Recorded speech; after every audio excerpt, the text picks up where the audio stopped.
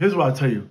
Never say JB Smoove ain't help your ass out. Now look, I'm out here in Vegas taking my damn time out of my out of my shooting schedule to tell you guys something amazing. A lot of guys don't know this. A lot of people don't know this, but I went plant-based in 2018, and ever since then, I have felt so much healthier. You know, and there's one product that I'm using. It's called Just Egg.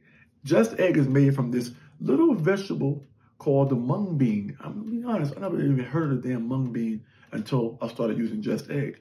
And I mean, this is a delicious damn egg. You can scramble this shit, make an omelet out of it, use it for pancakes, waffles. If you're a baker, you like to bake, you can use this as a substitute for your damn real eggs. You know, and then they got one that's a little folded one that you can put in your toaster.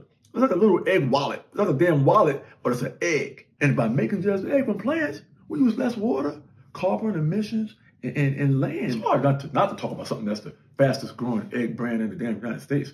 And it has sold an equivalent of, of over 165 million damn eggs. That's a lot of damn eggs.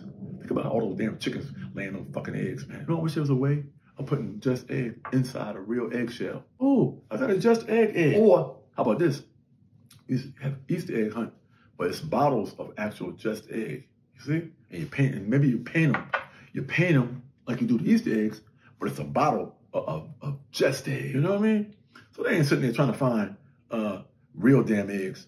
And then sometimes the kids don't find all the damn eggs. You know, eggs start stinking. It's so disrespectful, those damn real ass eggs. You're taking someone, so take a chicken's real damn eggs, you're hiding them in the grass for kids to find them. Let the chicken go. Am I rambling on? Huh? Follow my friends at Just Egg on Instagram, and um, you'll be enlightened